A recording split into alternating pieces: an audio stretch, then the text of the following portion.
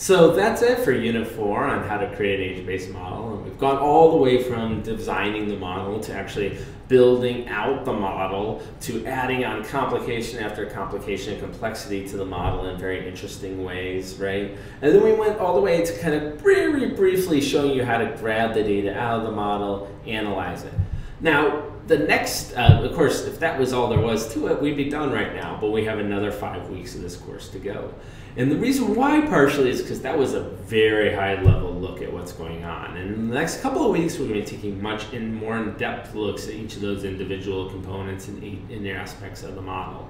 Uh, but before we do that, I got a couple of things coming up for you. One is that um, I've got the slides and the exam for this unit, obviously, coming up. Um, I also have a homework assignment for you, uh, and this is your first peer uh, reviewed one.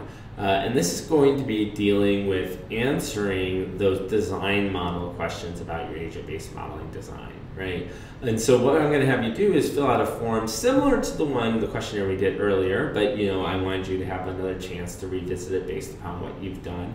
In this case, it's going to be submitted to some of your peers to evaluate uh, to see that you've actually kind of done it correctly. And of course, they're not going to be evaluating whether or not you have a good idea for a model or whether or not um, you, you, you are doing it the best possible way. They're going to be evaluating to make sure you understood the concepts we've talked about, about what are properties, what are behaviors, things like that.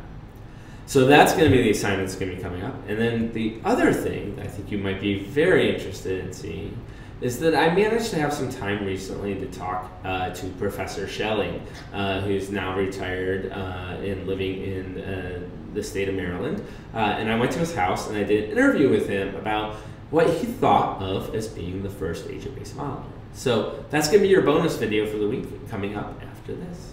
Thanks. See you next week when we start to dive into the components of an agent-based model.